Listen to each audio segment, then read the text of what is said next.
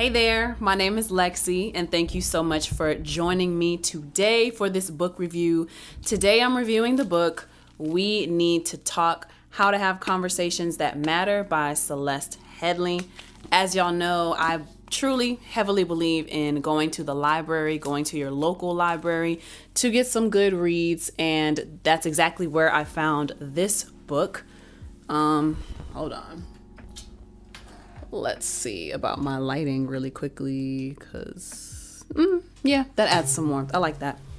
Yeah so i believe in going to the library and this is the latest read that i got from the library. This book like i said we need to talk how to have conversations that matter by celeste headlee copy written in 2017 there are 234 pages not including the introduction and not including the acknowledgments and the sources page in the back, but very good book. It is divided into two parts. Part one is basically defining the differences between conversation and communication, and part two is pointing out specific instances of where conversation and communication can be improved upon. So, I would highly recommend this book. I really enjoyed this read, and it was an easy read. So, the purpose of the book, I just want to read the little insert on the inside here. Um, where is it? Today, most of us communicate from behind electronic screens, and studies show that Americans feel less connected and more divided than ever before. The blame for some of this disconnect can be attributed to our political landscape, but the erosion of our conversational skills as a society lies with us as individuals. And the only way forward, says Headlee, is to start talking to each other. In We Need to Talk, she outlines the strategies that have made her a better conversationalist and offers actionable steps anyone can take to improve their communication skills. So, um, in my life lately, I feel like I've been having Poor communication. So for me, it stems from not answering my text messages quickly enough. There's just way too many people trying to get into contact with me at times. So I struggle with communication and like having a sense of ur- urgency on that regard, right? I'm a lot better with answering my phone calls, but I am not the best with handling conflict. Um, when the opposing party is giving me too much pushback or too much, you know, just whatever, like if it's not going to be a a decent conversation, you know what I mean? So I figured, you know, maybe there's something wrong with the way that I'm communicating. Maybe there's something wrong with my conversation. So when things like that happen in my life, I like to seek out resources that will help me to develop into a better person. And communication is something I want to work on. So I found a book on communication. Hence, we need to talk. It was perfect. It stood out to me. I, I don't know how I found it, but I randomly found it in the library. And now I want to share some of my favorite sections with you from the book. So, starting in part one, I want to take you to chapter two. And the name of the chapter is Communication and Conversation Are Not the Same. And this is in regards to empathy. so let's see here. I find this development to be extremely worrisome.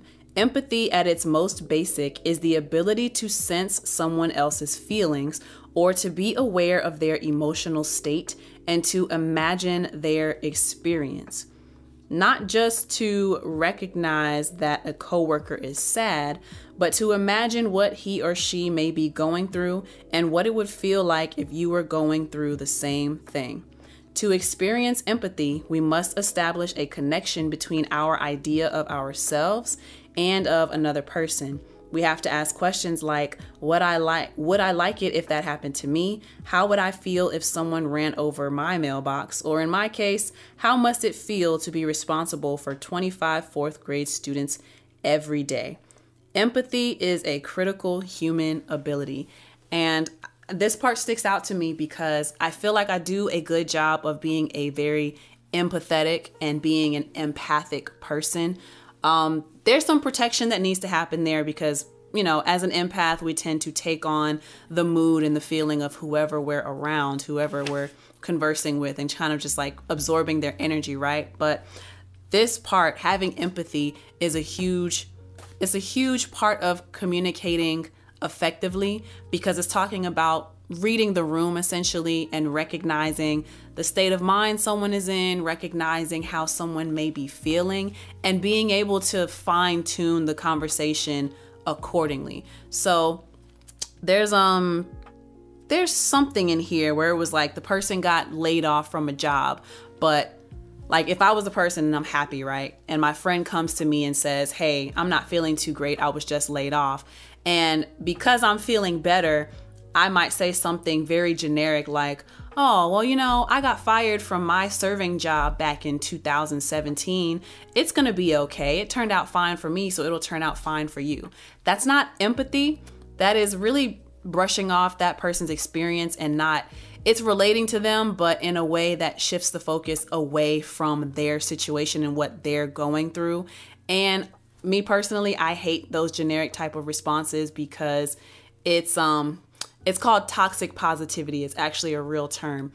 People sometimes just want you to understand how they're feeling and try to feel what they're feeling so they can relate and connect to you in that way. So it's um a miscommunication and a and it's it makes you come off as like you don't pay attention or you're a little selfish because one person is in a good mood and the other is not, but to communicate effectively with each other, we have to be able to come to each other's level, right? So the person who might be in a better circumstance, recognizing and understanding that the person who is not in the best circumstance, they need an open ear, they need not a generic response, but a genuine response to what they're going through. And that's how we can have better communication. The next part I want to go to is on page 25. So, the same chapter, this is chapter two communication and conversation are not the same. Page 25 on being in each other's presence and being a friend. It's not about what someone can do for you, it's who and what the two of you become in each other's presence. The notion of doing nothing but spending time in each other's company has, in a way, become a lost art. People are so eager to maximize efficiency of relationships through text and tweets that they have lost touch with what it is to be a friend. As Sharp points out, meaningful connection requires an investment of time. Oh, y'all, if y'all knew what I was going through. Meaningful connection requires an investment of time. Conversations are uniquely human, and like us, they are complicated and sometimes chaotic and often rambling. That's why another essential ingredient ingredient for good conversation is attention. So, oh, she is scratching the mess out of that post right now. Oh, that connection requires an investment of time and being in front of each other is the important part, right? So, yes, we're able to stay connected through social media. Yes, we're able to stay connected through tweets and emails, even, but the connection is not the same if you are not face to face with someone. And I would share some romantic issues that I'm having, but I'm I ain't trying to go through there. But you know, one of my grievances was not spending physical face to face time. Some people would believe that being on the phone is enough, or sending a text is enough, or Sometimes friends get into the habit of checking social media and thinking that's enough without ever reaching out and making that personal connection. As humans, we are social beings, and that physical touch aspect, me laying eyes on you, being able to reach out and touch you, that is so crucial and important to communication and maintaining connection if you don't make time to maintain and make physical connections with the people that you say you care about, then the connection is not going to be as strong as you think. You can see someone on social media every day and never know what they're going through. And you thinking that you liking a picture is enough to show support, it's not. Even as an artist, right? People liking something on social media or reposting on a story, while I do appreciate those things, it means so much when people take time out of their day to come to a performance and physically see me, physically take a picture, cheer me on, we're in the same room, and that energy is just, it's beautiful to have in the same space. So this part resonated with me so much, man. Ooh, and I wish I could send this book to somebody, but hey, we're not gonna go there. So the next part that I want to get to, so this is part two of the book, and we're going to chapter eight, page 132 on facing the argument head on. All right, where do I start this? Okay. Imagine this you're at a theatrical performance, and during a dramatic scene, the lead actress's wig starts to slide off her head. Probably the worst thing she can do at that point is to ignore the wig. No one in the audience will hear a word she says, no matter how great the dialogue is. They will be focused on that wig, waiting for it to drop. A better solution would be to grab it and take it off or fix it while saying, This damn thing never stays on. She needs to openly acknowledge that something has gone wrong and then do her best to make it right. The same holds true for tension in a relationship. Ignoring the problem doesn't make it go away. Don't avoid a conversation because you're afraid of an argument.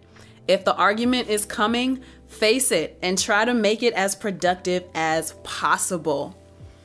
I've done this recently and although it was very uncomfortable, I see Flame Hefner is on here and he knows because he's been my accountability partner through this whole process. But I was having an issue with somebody.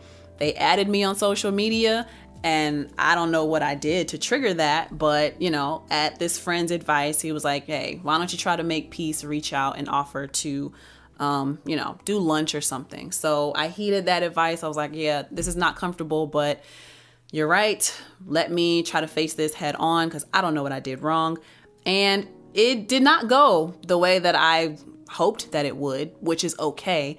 But what I'm proud of myself for is taking the initiative to see what's wrong. Can this be a conversation? Can we civilly speak to each other, even though we might not really like each other very much, or there are things that have caused tension between me and this person?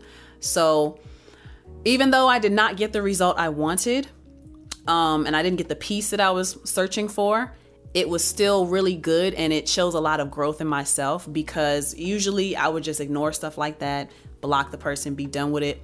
I ended up doing that. But I reached out for a conversation first. so, very proud of myself on that. And just this year, that is one of my goals as well. I have these quarterly goals that I'm working towards. Um, I mentioned before Jesse Itzler, how to plan your 2024 in 24 minutes. And he recommends having quarterly goals. So every three months, have a habit that you are working on forming. So the first quarter of the year for me was to wake up and pray and meditate when I wake up in the morning. So talk to God and meditate on my day. Um, second quarter is checking up on people. When I think of someone, go ahead and shoot a text, go ahead and do a phone call. The third thing is escaping me. But the fourth thing is to stand up for myself and speak up for myself more, which is something that I don't do. Um, I don't like to have energy for arguments, but um, I end up having a lot of turmoil in myself because I don't let out what I'm feeling and I don't let my mind and my thoughts be known.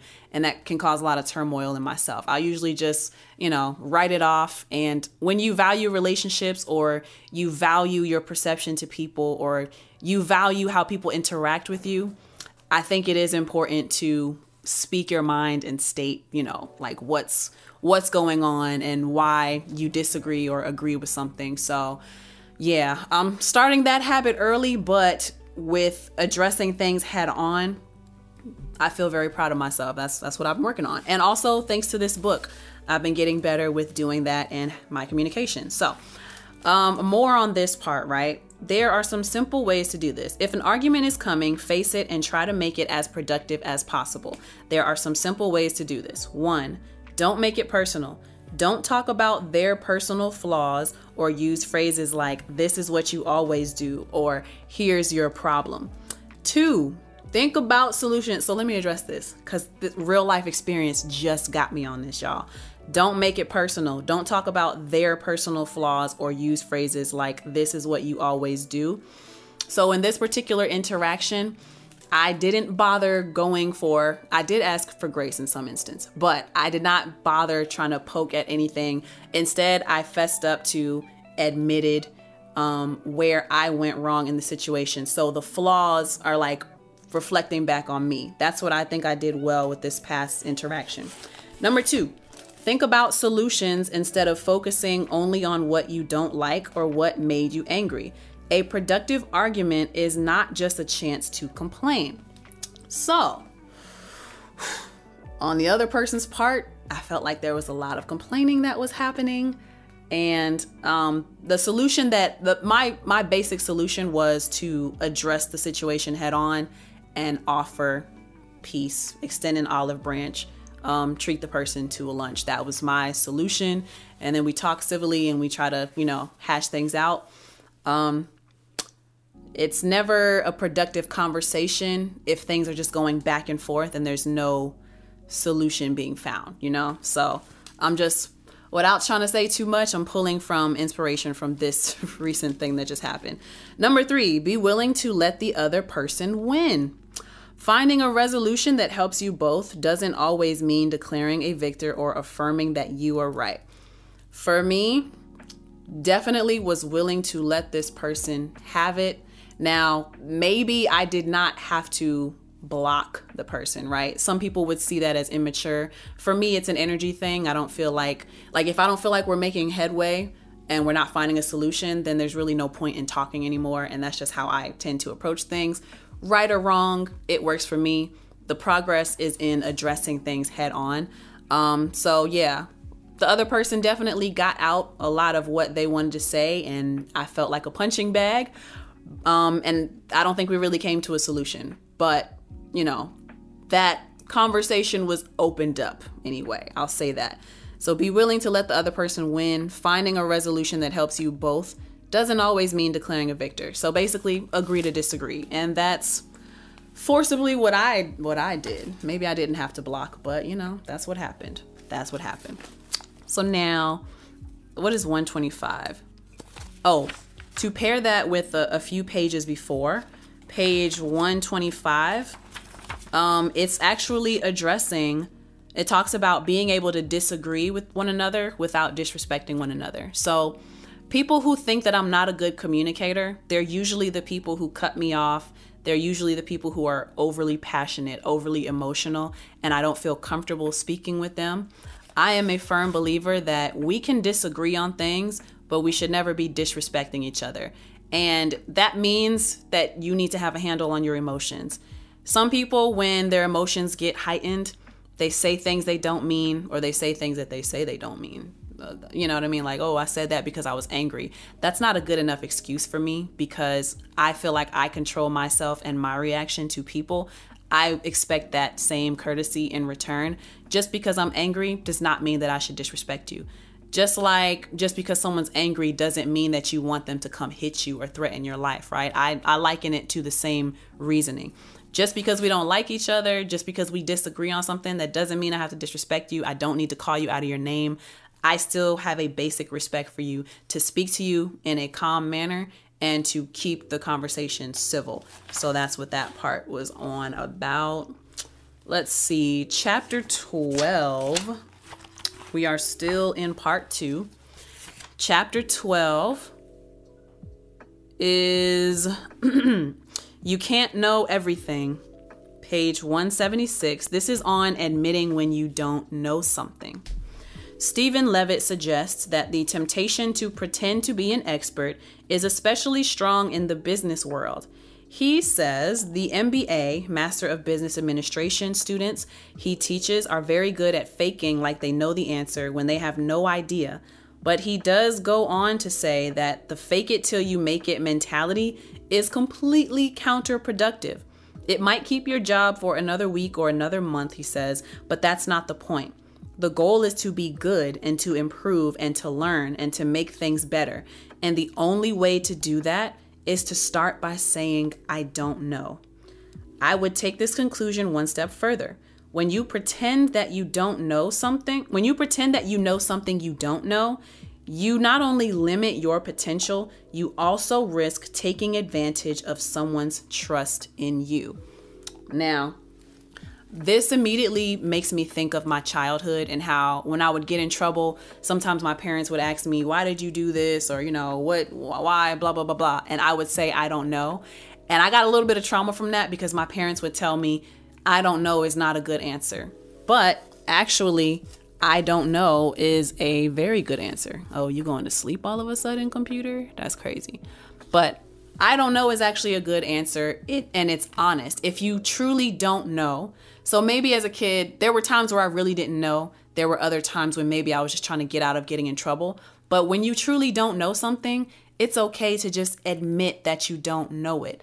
Trying to look like you know more than you do, and then you get placed in a position where it's found out that you're inadequate and you don't have the skills needed to complete the job, that's more embarrassing. And it might make whoever referred you look bad. It'll make whoever hired you look bad because they're spending money and time on someone and something that's not going to pan out because you don't have the skill set. You don't actually know what you're doing. So, yeah, breaking pre- people's trust is a huge thing. It's okay to say you don't know, and you'll actually garner more respect when you admit to not knowing something because now you are open to, hey, I don't know this, but I would love to learn how to do this people are more willing to accept that versus you blatantly lying and making it seem like you can do something that you actually don't have the capability to do. So that part really stuck out to me. Um, I got two more sections for y'all. We're going to go to chapter 14 on page 203. I need to uh, return this book soon.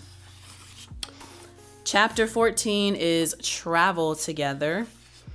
Page 203 on staying attentive and in the moment for the best conversations. At this point, I hope it goes without saying, the best conversations are unplugged. Put away your smartphone, turn away from your computer, and mute any technology that might make noise. It's a good idea to permanently turn off most notifications on your phone anyway. Do you really need to know every time somebody likes your post on Facebook? Do you need to know the moment that someone shared your photo on Instagram? Probably not. The average adult checks their cell phone 110 times a day. That's a glance every 13 minutes.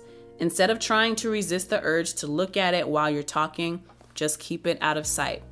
This stands out to me because I hate it when I'm in someone's company and they can't focus on me and they can't focus on giving me attention it feels very rude and it, it shows me that you're not really listening.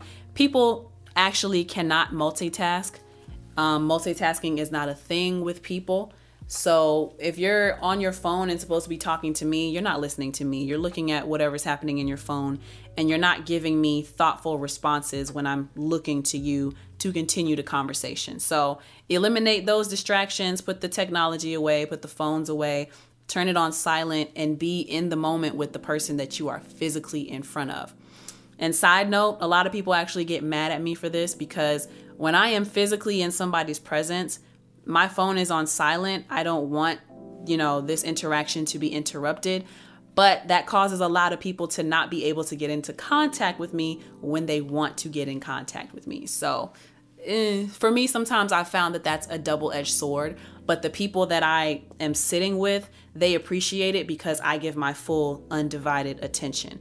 And then when the next person gets the opportunity to be in my presence, they can understand, oh, this is why maybe I'm not able to get in touch with LexC like I would like to, because when she's locked in with you, she is locked in and there's not going to be any interruptions or anything messing up the vibes, all right? Last section I want to share with you, chapter 16 Sometimes we should not talk. Page 225, this is on isolating yourself when you don't feel like talking.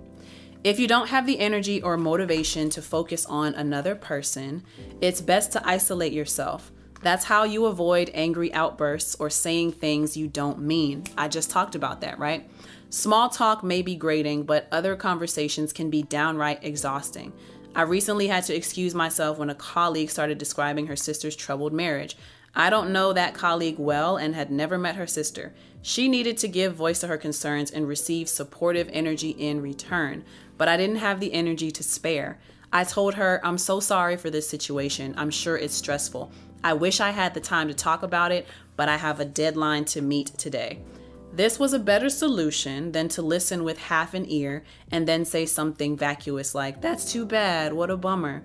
Much better to send her in search of a more dedicated listener. A good conversation requires energy and focus, two commodities that are often in short supply. If you are unable to engage meaningfully, I would advise not engaging at all. Be honest, be polite, and walk away. And I love this. Good morning, DJ Proof. What's up? And I love this because this is piggybacking off of what I said. When you are in front of people, it's important that you make people feel important by giving your undivided attention.